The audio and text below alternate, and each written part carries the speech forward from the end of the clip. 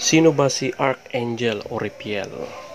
Sinasabi ng mga angelology o mga biyasa sa pag-aaral ng mga angel ay si Arch si Oripiel ay maituturing na isang archangel o isang makapangyarihang anghel tulad ni na Archangel Michael, Raphael o Gabriel.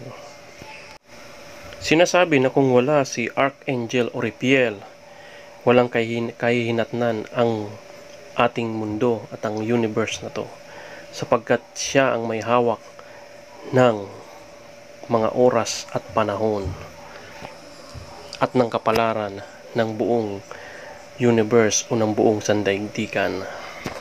At siya rin po ang may hawak ng kapalaran ng buong sangkatauhan at siya ang tinatawag na Master of Divine Science.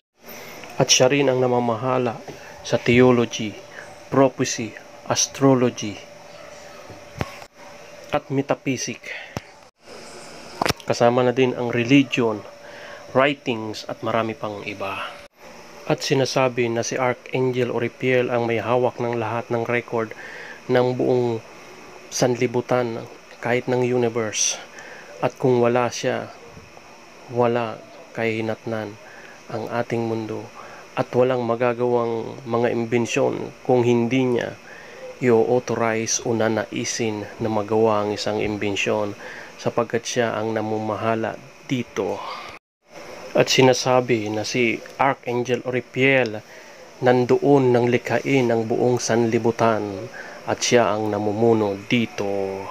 At sinasabi na siya ang namuno sa mga tao nung unang bagong likhain ng sanlibutan at sinasabi ng tao ay uncontrollable at at violente at parang mga hayop.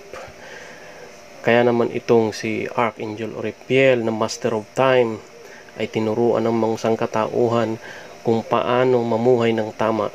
Siya ang nagturo ng kung paano bungkalin ang lupa.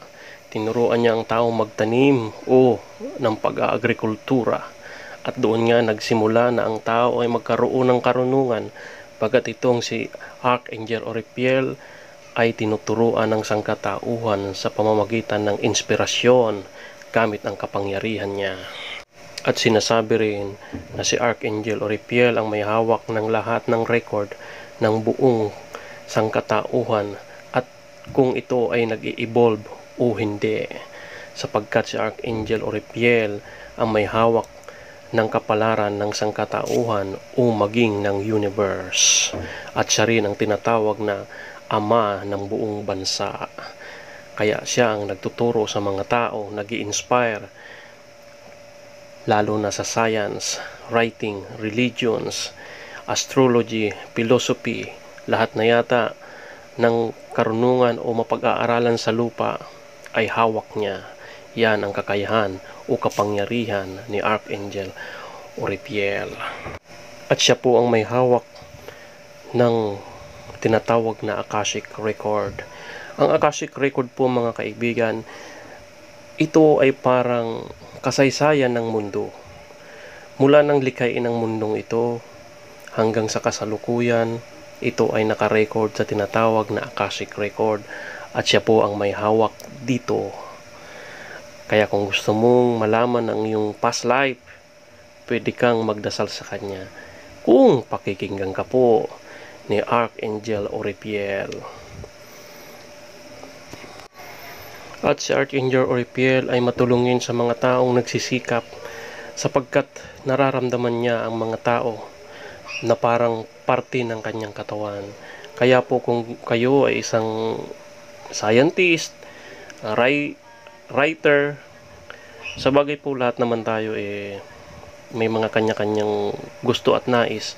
At halos ng ginagawa natin dito ay halos connected kay Archangel Oripiel sapagkat siya po ang namumuno sa sangkatauhan. Pwede ka pong magdasal sa kanya ng taimtim at hingiin mo ang kanyang uh, inspirasyon na tulungan ka sa iyong adhikain o trabaho at mara at alam ko pakikinggan kanya sapagkat ito ang kanyang trabaho at nais rin na gawin sa sangkatauhan. Kaya idagdag mo na lang po sa iyong mga dasal, tawagin mo ang kanyang pangalan, at magdasal ng taimtim at sigurado i-inspire ka niya sa kung anuman ang nais mong gawin sa iyong buhay. Hanggang dito na lamang po at kung nagustuhan nyo po ang video ito, i-share na po at mag-subscribe na po. Marami pong salamat and good luck and God bless.